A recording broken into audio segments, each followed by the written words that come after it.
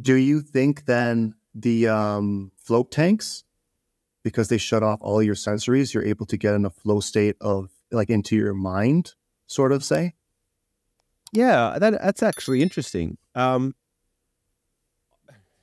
I actually teach a class twice a week called Flow um, about uh, mobility and breath work and learning to utilize your breath to help you go through ranges of motion.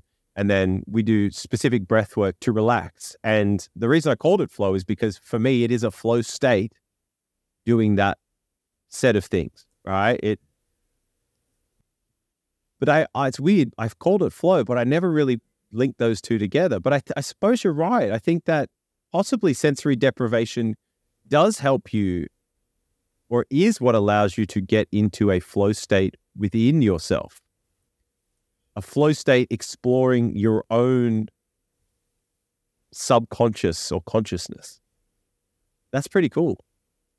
There's another way to do it, apparently. Yeah, I, I, I reckon it does too. There's another way to to do it with um ping pong balls and a red light, apparently, or like a flashing light. You have to cut the ping pong balls or something and you put them over your eyes. And you have um, a red flashing light or another flashing light. I don't remember exactly what it is. People would have to go research it. Have you heard about this before? It's not as good as the float tank, but it can get you some of the results a float tank can get you. When you said ping pong balls, I was like, is this a Thailand story? it's like, where Yo, is he going with this? What? Yo, people in Thailand, like the guys selling it, they're like, that's what they do. That's how they sell the ping pong show to people.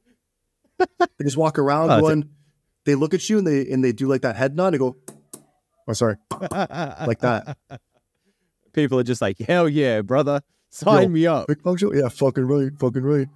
Oh my god. Um, no, I I haven't heard of that. Um, I would just imagine that. Okay, so part of a float tank is the amount of magnesium that's dissolved in the water, right? You actually end up floating on the surface of the water, um, and that that takes away, you know, like your body is essentially essentially weightless, right? So that's a very different feeling from the tradition, yeah, the normal feeling of having gravity continuously sort of pushing on you. Gravity's still pushing on you, but you, you're essentially weightless. Um, plus all of the magnesium and whatever else is dissolved into that water, those electrolytes, those minerals, um, are creating an uh, an uh, electrical chemical sort of field that your body is engaging with. I, I imagine that helps. Um, the darkness and the lack of noise and all of those other things is taking away all of that sensory input. So I feel like you can replicate that minus the floating just by putting an eye mask and some headphones on or being in a really quiet room or a really dark room. Um, I, I actually, I think I do this every single night, to be honest. Like most nights I'll have a bath and it'll typically have like magnesium or Epsom salts in there with some um, sodium as well, some just regular salt, maybe some essential oils if I'm feeling a little bit special. Um, but nice hot bath, right? And uh, I'll sit in there and I'll often just like, you know, meditate or listen to listen to a book or a podcast. Then I get out and when I go to bed, I put my, I put an eye mask on and I, I have um, like earmuffs essentially that I put on as well. And I have my room pitch black and I'll lie there and I'll essentially do what I do in a float tank, which is just be present in my own mind, in my own thoughts. And if I want to have certain types of dreams, I'll deliberately think of things that I want to dream about or, or problems that I want to solve, and I'll start to load that into my mind. And then when I when I go to sleep, ha- there's a higher probability that I'll have dreams like that. And I, I consider that to be a flow state as well. So one big thing, and I think this really ties into flow state, and I think it ties into meditation too, because I think meditation can be a form of flow, but it's different. Like uh, you know, like it's, I think it's more of like a passive versus there's very active flow states, which is where you're physically active as well the breathing is the thing that really helped me in the evenings get into a bit of a flow state with with myself and lose sort of t- track of time in the thing and then essentially just fall asleep um, but learning how to control your state through breath is such a powerful tool right so at nighttime when you're trying to wind down, ideally what you're trying to do is just gradually lengthen your exhales. If you do longer exhales, your body will relax.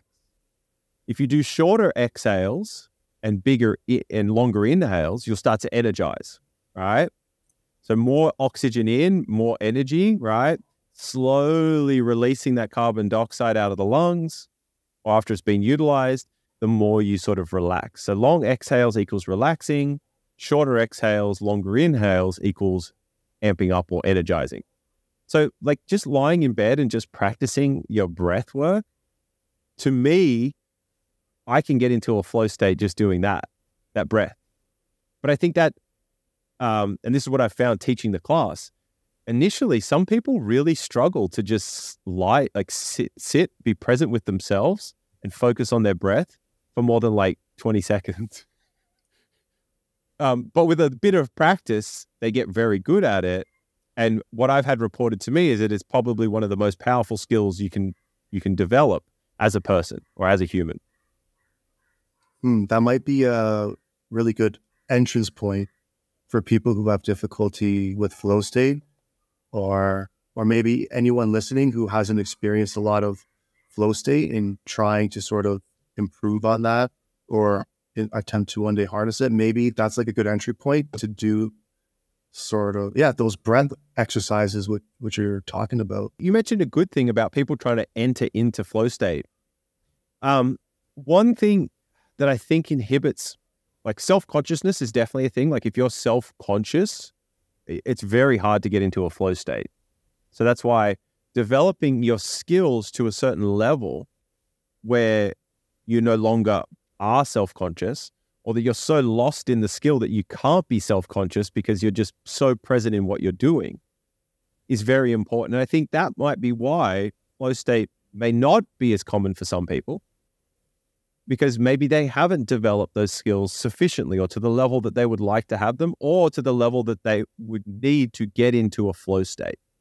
Right? Like um I don't want to rip on, you know, obese people, but I feel like it'd be very hard for an obese person to get into a flow state playing basketball or, you know, doing certain activities. I think that because their physical ability is limiting them, if that makes sense.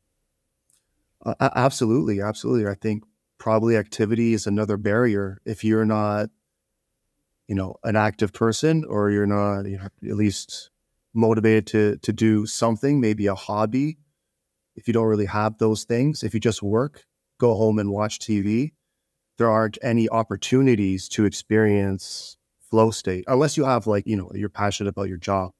But if, if you're not passionate about your job and you are overweight and you're home and you watch TV, maybe going to the gym would be a very good first step. You know what I mean? Yeah, I agree. The other thing about it, I think that um, is important to note with flow state is it has to be sufficiently challenging, right? Like you can't just do something at a level that's not challenging because you get bored. So you can't get into the flow state. It has to be sufficiently challenging to keep you interested, but not too challenging that you can't do it, so to speak. It sort of has to be this beautiful little, um, yeah, this this beautiful range right towards the top. I can't remember where I read this, but apparently it was like